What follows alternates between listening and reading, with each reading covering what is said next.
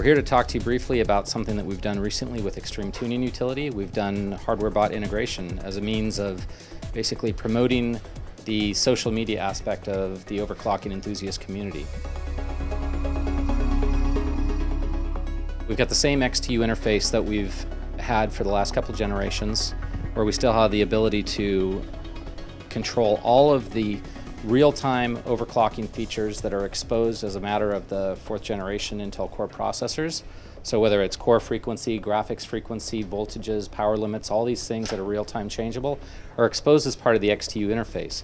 But the added bonus is we've added this capability under benchmarking, which basically allows us to run a benchmark that's based on Prime 95, and upon completion of that benchmark, we're able to compare online directly with other people who've posted their results on HardwareBot.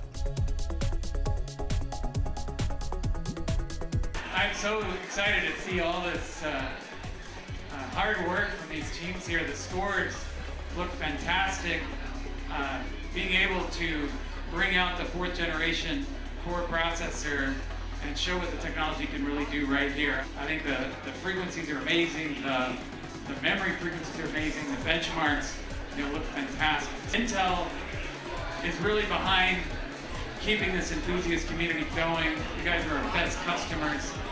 And, you know, we're delighted uh, to have partners like Corsair and our motherboard partners to bring this kind of experience to you guys. And we're going to just keep on going.